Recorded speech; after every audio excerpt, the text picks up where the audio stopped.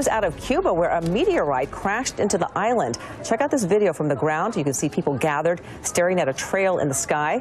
People say they heard what sounded like two explosions. Those booms shattered some windows. 轰然一声巨响，位于古巴西部的民众全冲出门外，以为发生爆炸，没想到居然是陨石从天而降。rayo fulminante ese que, que nos asustó un poco, pero sin más.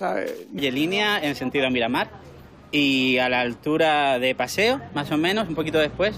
威力大到连窗户都被震碎。据了解，这个陨石直径约二到四公尺，在二十公里左右高空中爆炸，释放数千吨黄色炸药威力，所幸没有造成伤亡。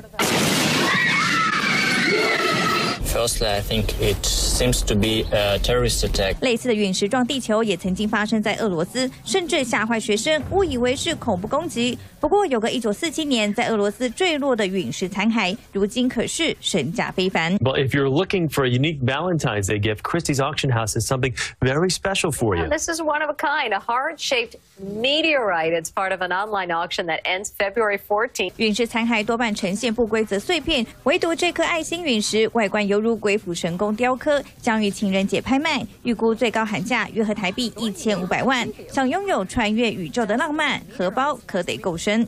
三立新闻金属会报道。